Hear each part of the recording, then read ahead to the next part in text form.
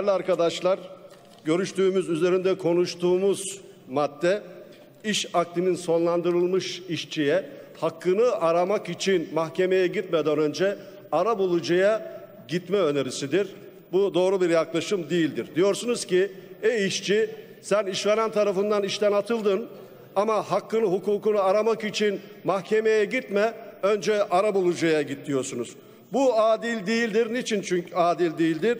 Zorunlu arabuluculuk taraf eşitsizliğinin en açık görüldüğü iş hukukunun özüne de aykırıdır değerli arkadaşlar. Sizin anlayışınızla işçinin emeğinin, alın terinin, haklarının pazarlık konusunu yapılmasında bir sakınca yok. Zorunlu arabuluculuk, buradan bir kez daha söylüyorum, AKP'de bu işi hazırlayanlar derslerinde de iyi çalışmamışlar. Çünkü Anayasa Mahkemesi'nin bu konuyla vermiş olduğu bir karar var. 9-10-2005 tarihindeki vermiş olduğu kararda işçinin iradesi dışı zorlayıcı sözleşme hükmü ve dolayısıyla zorunluluğu anayasaya aykırıdır demektedir. Yani burada her zaman AKP'nin yaptığı gibi toplumsal tarafların görüşlerine değer vermeden bu yasa tasası hazırlanıyor. Kimdir buradaki toplumsal taraflar? Elbette ki sendikalardır.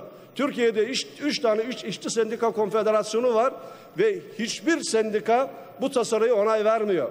Önerilen sistem sorunları çözmeyeceği gibi daha da karmaşık hale getirecektir. Şimdi size soruyorum buradan. Örneğin bir taşeron işçi işten çıkarttırıldığında mahkemeye hak aramak için gittiğinde karşısında kimi bulacaktır? Yani bir A belediyesinden çıkartıldı. Belediye başkanı mı yoksa taşeron işçinin patronu mu olacaktır? Yani bu düzenleme muvazzayı bile ortadan kaldırıyorsunuz. Aynı soruyu kiralık işçilik içinde söyleyebilirim. Yani orada da kiralayan işveren mi masaya oturacak yoksa işçi simsarları mı masaya oturacak? Bir başka soru daha ciddi bir soru. İşe iadelerde arabuluculuğun buradaki görevi ne olacak? Ne anlayacak? Yani burada AKP'nin getirmiş olduğu bu sistem bana göre çok sürpriz değil. Çünkü 15 yılda yaptıklarına baktığımız zaman Allah rızası için tek bir kez bir madde işçinin lehine yapılan bir düzenleme yok. Bunun ispatı da şudur. Bakın AKP Genel Başkanı Sayın Recep Tayyip Erdoğan bir işveren toplantısında onun ağzından söylüyorum söylediği şu. Biz göreve geldiğimizde Türkiye'de o hal vardı ama bütün fabrikalar grev tehdidi altındaydı. Hatırlayın o günleri.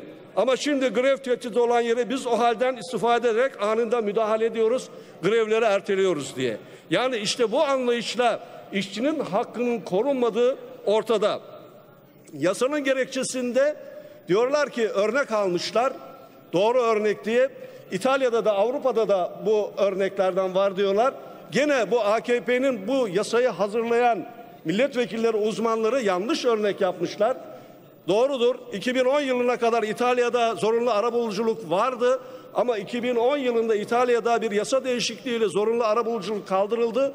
Gerekçesi de iş yükünün azaltılmalığı, mahkemelerin iş yükünün azaltılmalığı yönündeydi. Burada yapılması gereken değerli milletvekilleri, işçiyi, emekçiyi düşünüyorsanız bu yasa tasarısını çekin, işçinin, emekçinin hakkını, hukukunu